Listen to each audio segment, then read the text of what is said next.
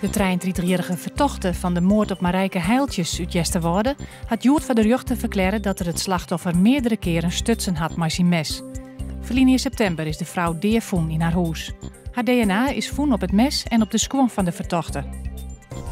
In de hele provincie wordt onderzoek die naar asbest dat vrijkamer is naar de storm van Manje. Een protte dakplaten bij Fortwaait, liekers hier in de Willemshaven in Haas.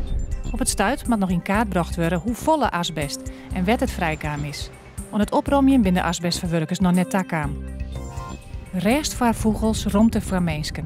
Maar dit project zullen de vogels in het waardgebied beter beschermen worden. Toeristen krijgen de kans om de begeleiding de zonplaten op te gaan en kunnen meer te weten komen over de waardvogels met een speciale app. De nieuwe ijshal van Ljouwert komt er. De gemeente loopt goed 21 miljoen euro uit voor de bouw.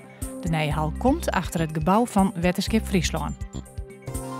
Joen en vannacht meer Rijnwetter. Het wordt 10 graden en de zuid- en zuidwestenwind is krachtig. Morgen ik Rijnwetter, een stevige zuidwestenwind en het wordt 13 graden.